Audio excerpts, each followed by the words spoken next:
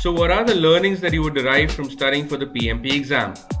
The project management framework can be encapsulated into a project life cycle, which primarily includes initiating the project, planning the project efficiently, executing the whole project according to the plan, monitoring and controlling the project all through the way, and a final successful closure of the project. There are 10 knowledge areas to each of these process groups. These knowledge areas are described by the inputs, tools and techniques, and outputs. By studying for the PMP exam, you will have a good insight on all of the above, getting you ready to be a successful project manager in the project management field.